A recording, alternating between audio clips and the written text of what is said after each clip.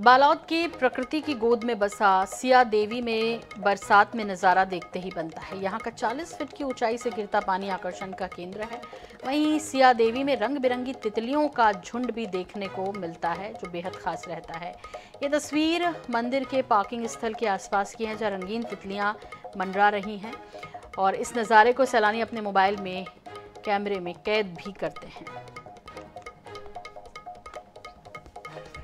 तो तितलियाँ आकर्षित करती हैं पर्यटकों को और विशेष आकर्षण का केंद्र है इस क्षेत्र में।